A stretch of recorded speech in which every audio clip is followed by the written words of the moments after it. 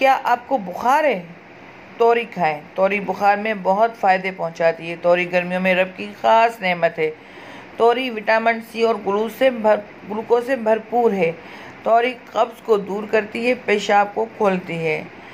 बंद गोभी के पत्ते और उसका सालन।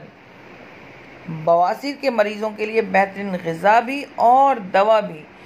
सरसों का साग खाने से खून की कमी नहीं होती, कैंसर का ख़तरा नहीं रहता, आँखें कमज़ोर नहीं होती, जिस्मानी कमज़ोरी नहीं होती।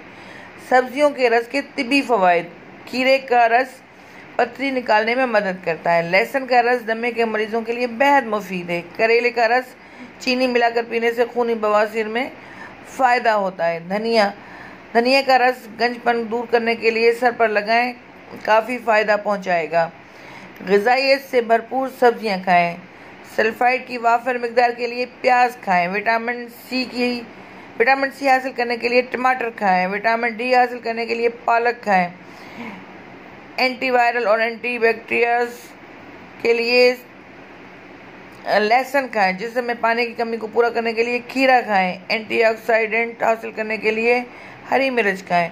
शिमला मिर्च के 10 फ़ायदे। बिनाई तेज करती है, मुजर कोलेस्ट्रॉल को कम करती है, कैलोरीज जलाती है, ब्लड प्रेशर को नॉर्मल रखती है, दिल सेहतमंद बनाती है, एनीमिया से हिफाजत करती है कुत मदाफित बढ़ाती है, सोजिश के खिलाफ काम करती है, कैंसर से बचाती है एसाबी तनाव दूर करती है।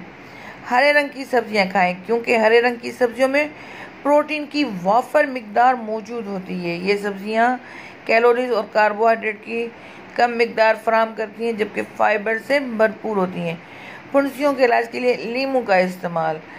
लीमू जल्द को साफ़ करता है जल्द के तमाम अमराज, फोड़े, फुंसियाँ दाद खारिश वगैरह में लीमू का रस लगाने या लीमू को पानी में निचोड़कर उस पानी से उस पानी से धोने से फ़ायदा होता है।